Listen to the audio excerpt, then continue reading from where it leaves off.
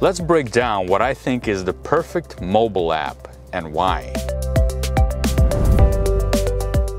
Hi, I'm Alex, and many of you are subscribed to this channel because little tips and tricks that I go into for building mobile apps, but we never really talk about what makes a mobile app good. So today we'll break down the Starbucks mobile app, why I think it's a well-designed and well-crafted mobile app, and why I think all of us should aspire to build mobile apps like this one.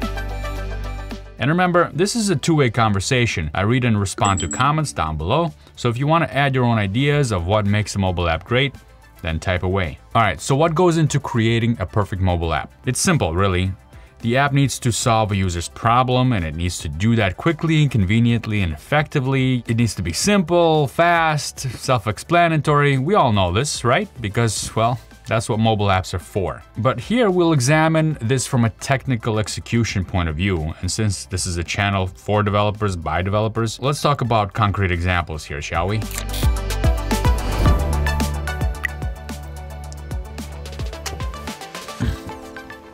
All right, first of all, navigation. Your app's navigation layout is one of the most important aspects of UX that can either make or break your app. Starbucks accomplishes ease of navigation with top-level tab layout where you can easily hop between the most important user goals such as scanning your code or placing an order, selecting a drink, and the drill down navigation is logical. It mirrors exactly what a barista would ask you if you're physically in the store. Let's talk about performance. This app always feels snappy and fast. As I'm using it, I never really notice myself waiting for something to load. See, performance is not only how many load balance servers you throw behind an app's backend, but it's also a perfect balance of distraction versus load time. I'm speaking, of course, about perceived performance here, aka magic. Sure, real performance has to be great, but you can't always help real performance. In cases when you actually need to load a lot of data, that'll take a bit of time. So you have to use sleight of hand or a bit of UX magic to distract the user and give them the perception of fast performance. So in the case of the Starbucks app, you have location loading, which, you know, it happens kind of quickly, but at the same time, you do see something loading. So there is a loading indicator at the bottom and it does load the data. But it's so well executed that you don't feel like you're waiting for it. Let's say, for example, that if you had a page like this one and you tap on the pickup at store, and then instead of bringing up the map and the little animation down at the bottom, it just brought up a blank page with a spinning icon in the middle. Yeah, you'd notice that one. And for a long time, that was acceptable. Well, not anymore. In this case, we are giving the user something to look at immediately at the top, which is the map, while we sneakily load something at the bottom of the screen, which are the locations. Well, we're not doing this. The Starbucks app is doing this. So good job, Starbucks app. Let's keep going. Speaking of animation, notice that animation at the bottom there? It's fast, any type of interaction animation I would keep at 300 milliseconds or less. That's what feels responsive. Anything longer than 300 milliseconds is gonna feel a little laggy. Also, if you navigate through this app, you will pretty much never see an animation that is linear. So animations operate under timing functions. In other words, um, how quickly an animation changes, an object changes its state. And there's different curves that you can apply. I have many videos on this channel describing that as it relates to JavaScript animations and NativeScript. tons of examples here. Basically, you want to smooth out your animation so it looks natural. And that's why you don't want to use linear animations. You want to ease your animation. So ease in, ease out, depending on the state of the animation. If you want to know more about animations, I can go into more details about that. I can talk a lot about animations. Let me know in the comments. All right, let's talk about personalization next. An app that tailors itself to the user provides a uniquely personal experience that also drives engagement. In the case of the Starbucks app, the experience is customized based on the user's location. So we've already seen that. And uh, if I select different locations here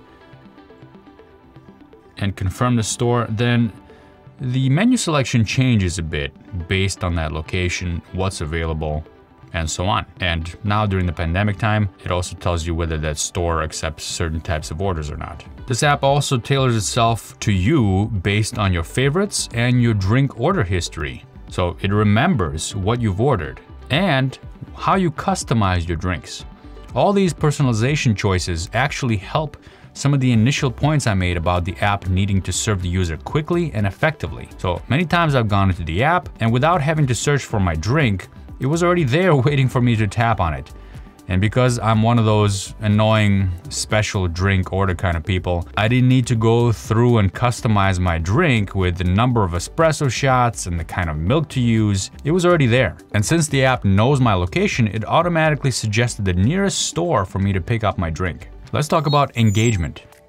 Engagement, engagement, you hear this all the time nowadays. How do you engage your users? Once your app launches, it's important to know how you'll continue to engage your users. Consider how you'll build user engagement with techniques like push notifications or in-app messaging. These are all things you can do now to drive your users back to the application, and it's good for business. These notifications can be used to easily remind customers about your products and services in the right place and at the right time. So the Starbucks app, it gamifies your drink purchases uh, by collecting stars. Right now I have 66 stars and it tells you how many stars I need to win at life. Just kidding. How many stars I need to get to my next free drink which is pretty cool to see. I like to see that on the homepage. It does actually gamify this a little bit for me. This is brilliantly executed because you're buying drinks anyway, and every time you visit the app, you'll see the stars go up. All right, another engaging technique here is the scan in store. It's another one of those features that you'll find so convenient that you might just get the app for the scan button and start using the rest of the app because of the ordering conveniences it provides. And that's what happens to me anyway. So here's the scan button I gotta also add that the scan feature cleverly brightens the screen, so scanning is easier to accomplish. Only on that tab, the entire screen gets brighter, and when you get off of that tab, the screen dims again. The next one is offline. Apps usually rely on the internet connection to talk to the backend or APIs, but with mobile, that's not always 100% reliable. We as mobile developers need to account for offline scenarios, and that goes whether you have uh, intermittent connectivity issues or you have a use case where your users will have extended offline usage of the app. Access to features and content offline provides a huge advantage and allows your users to continue enjoying a positive experience with your app. For example, in the Starbucks app, when I turn on airplane mode, I can still browse the menu.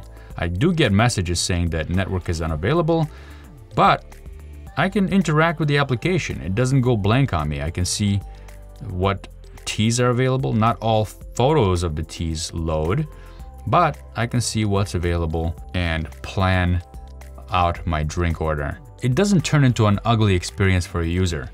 There are messages that pop up once in a while to remind the user that you're offline, which is fine, but it doesn't go blank. You can still interact with the application. And let's talk about cross-platform. These days, it's vital for a business to offer iOS and Android apps, not just one or the other. You can accomplish this by developing separately for the two platforms, or you can use frameworks like NativeScript or React Native or Ionic which will cover both iOS and Android with a commonly shared codebase. I usually do NativeScript related content here, but recently folks have been asking me to cover other frameworks. So if you are interested in me covering a mobile framework, let me know which one down in the comments below. Speaking of cross-platform approach, a consistent look and feel is something that I feel is hugely beneficial to users across devices and platforms, and the Starbucks app executes this perfectly. You can see that the layout is exactly the same on both iOS and Android. You have the same tabs, you have the same information displayed on each tab,